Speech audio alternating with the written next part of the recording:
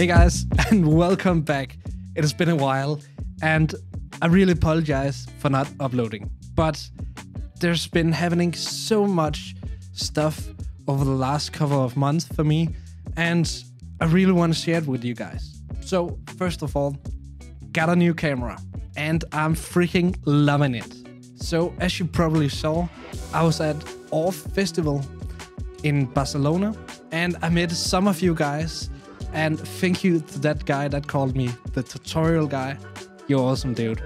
So, so yeah, it was really fun going to OFFF Festival. And so, if you guys want to meet other fellow motion designers, then definitely go next year to OFFF. So, the third thing I've been doing is taking some vacation and really getting the creative juices flowing again.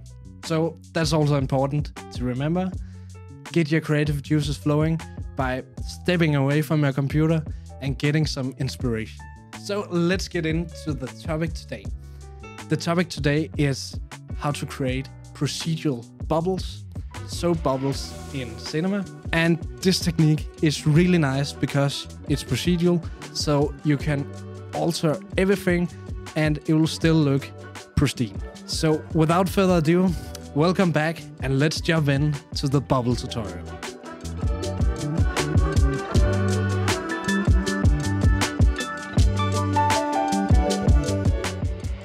So here in cinema, we're gonna make the procedural bubbles. So first of all, let's make a sphere.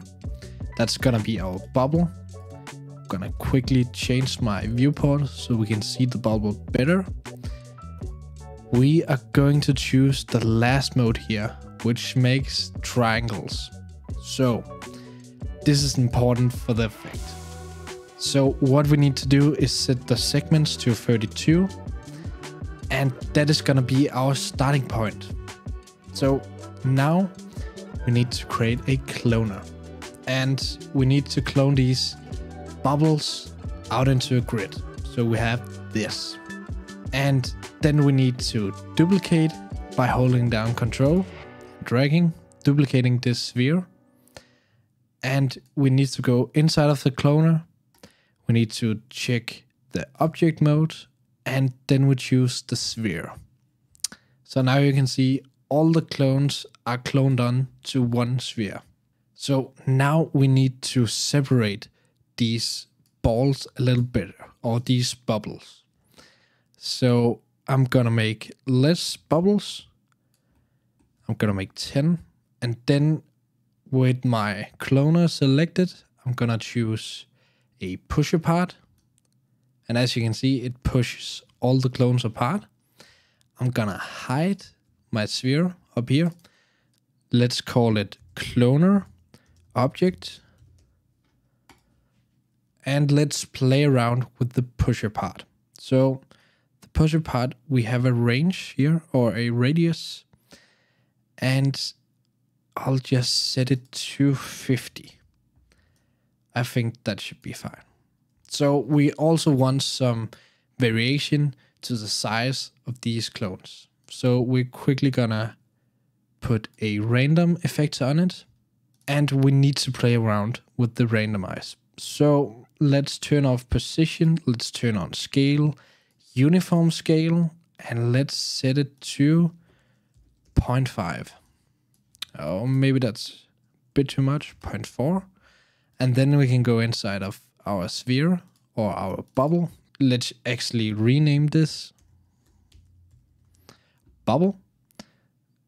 So if we turn down our push apart, I can see that we also need to turn down the radius of our sphere object.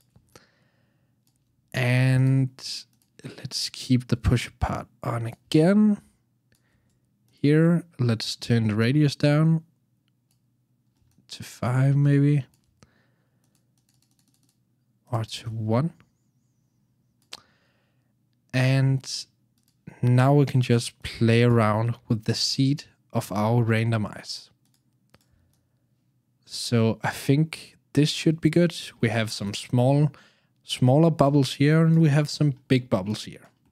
All right so now we need to create the mask and the whole setup to make these bubbles look a bit nicer because we don't want these intersections, as you can see inside of them, where we have spheres intersecting. And I can even show you it better if I do this. You can see all the spheres are intersecting and it's not looking great at all. So let's jump back and let's do the procedural bit. And let's make this bubble look a bit nicer. So for that, we need to create a instance of this cloner. And we do that by selecting the cloner and then selecting instance. So now we get this instance here. Let's first of all group all the things. So we'll group our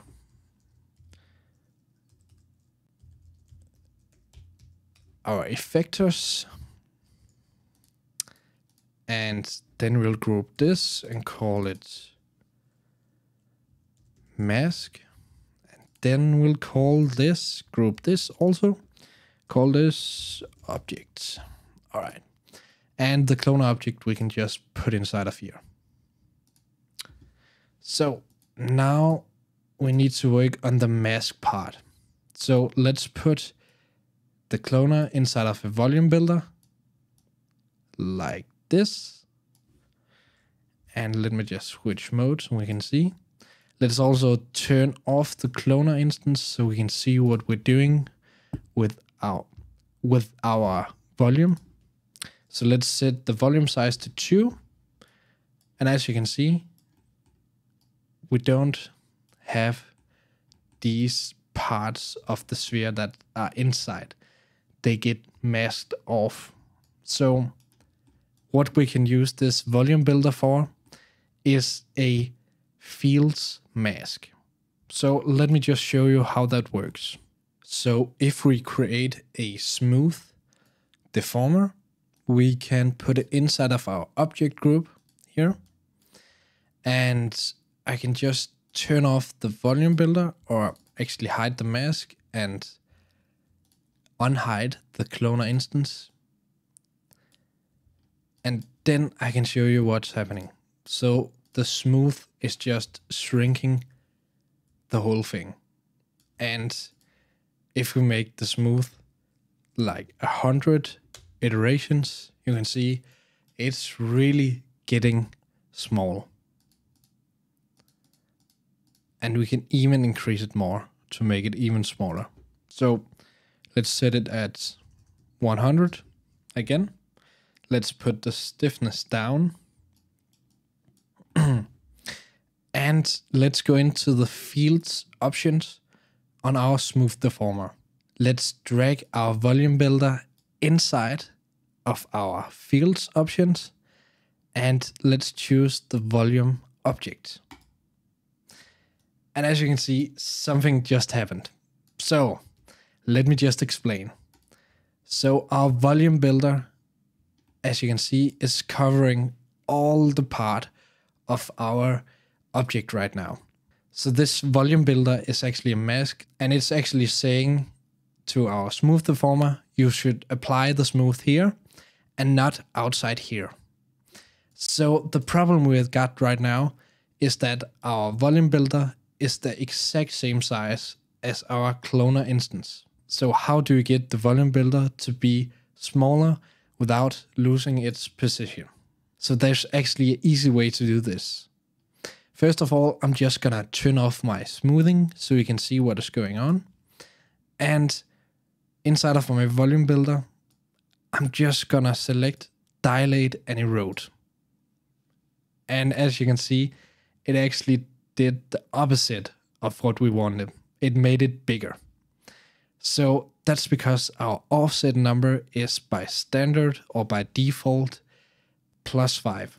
And we actually needed to go the other way. So it just should be minus 5. And as you can see, if I flick between our instance object and our volume builder, you can see the volume builder is inside the instance right now. That's actually what we need because we only need the inside polygons to be selected and not the outside polygons. So let's hide our mask here. Let's turn on our smoothing. And what happened? Well, we did miss one important step. So here in our smooth deformer, inside of the fields tab, we need to put a invert. And as you can see, it fixed our problems.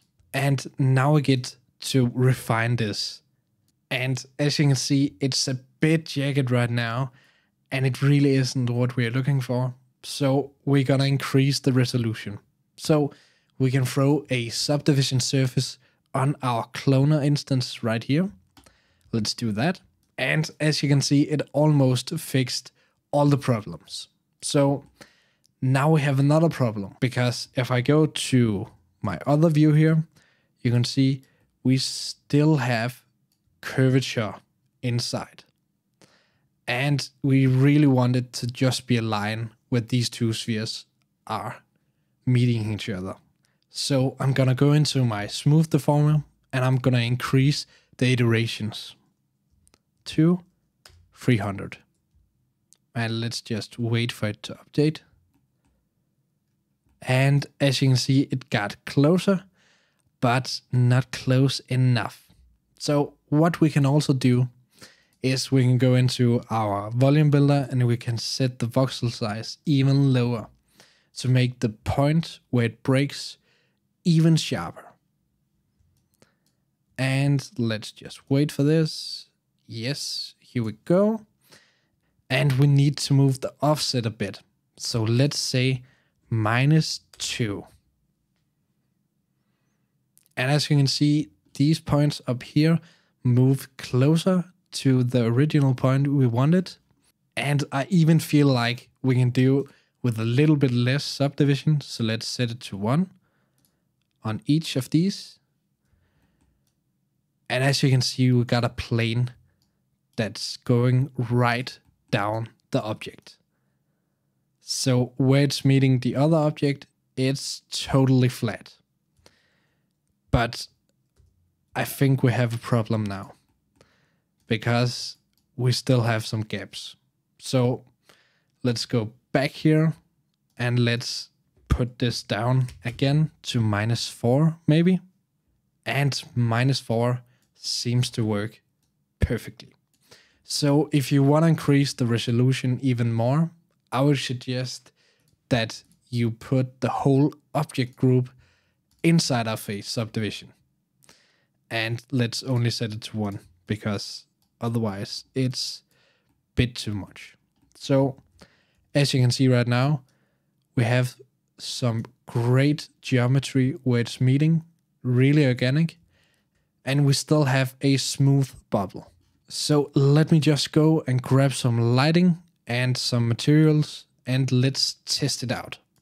So I've just imported a material here. I'm actually gonna show you in part two how to make this material. And I also imported a HDRI from my HDRI pack. So let me just preview this for you guys and let's see how it looks. So yeah guys, I've just played around with this for a little bit and I finally found something that could illustrate the effect really nicely. And uh, yeah, you can see I have the material here. And we have these nice intersections between all of the bubbles. And it really makes it look like real bubbles instead of spheres intersecting with each other. So that was it for this procedural bubble tutorial. And if you guys liked the video, then please push the like button underneath the video. And if you have something to share with me, maybe you made your own bubbles, then DM me on Instagram. The link is in the description. And yeah, if you want to buy my light pack, I also have that. That's also in the description. If you want to meet other fellow motion designers and creative people, we have a Discord channel and you can go in there, get some help from anybody, and it's really a fun time. So, thank you for watching the video this month, and hopefully, the next video is gonna come sooner than later. But all I have to say for now is just adios. It has been very nice to see you guys, and stay creative.